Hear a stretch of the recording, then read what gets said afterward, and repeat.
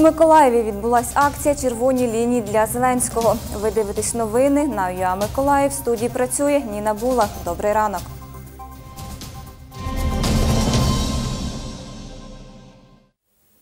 Напередодні зустрічі лідерів України, Німеччини, Франції та Росії у чотиристоронньому нормандському форматі щодо вирішення збройного конфлікту на сході України у Миколаєві відбулася акція Червоні лінії для Зеленського. Біля Соборної площі зібралися люди. Тут учасники АТО, волонтери, представники громадських організацій. На початку акції хвилина мовчання. Сьогодні в Україні е, день жалоби, і ми хочемо передати також Одесі, що ми співчуваємо. І е, хвилину мовчання, будь ласка, це дуже важливо.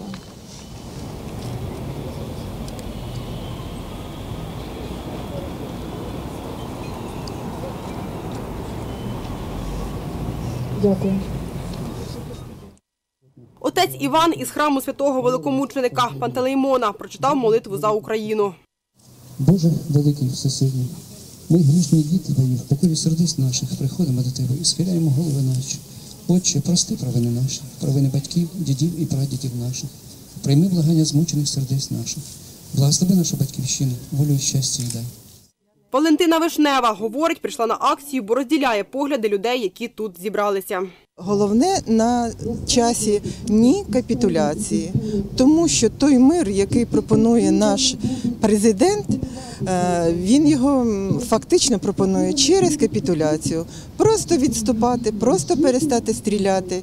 А фактично весь цей час війна продовжується, продовжують гинути наші воїни, і ми тільки втрачаємо землі і втрачаємо людей.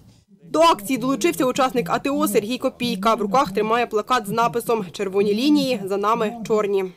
Червоні лінії йдуть і йдуть, вони аж мерехтять уже в очах.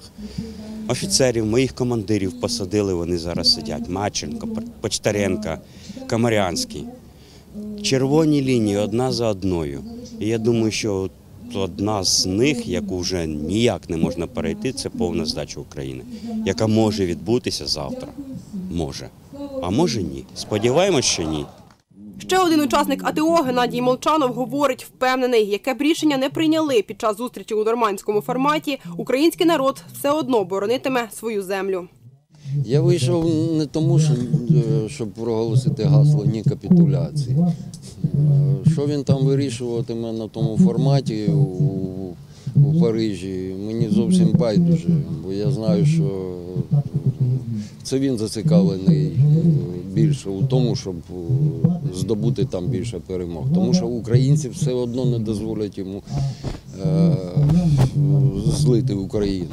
Українці все одно боронитимуть Україну до останньої краплі крові. Це я знаю на 100%.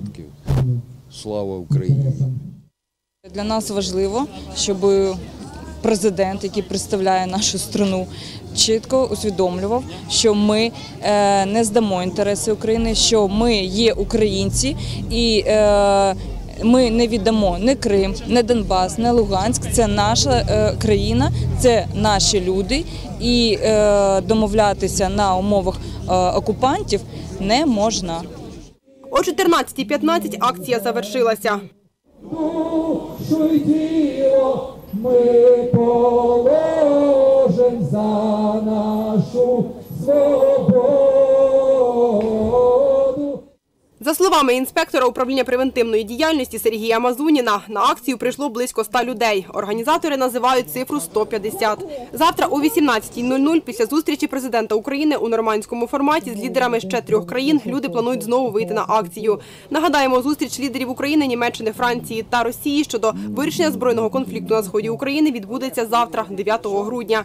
Вікторія Андрушків, Василь Філімон. Новини на Суспільному. Миколаїв.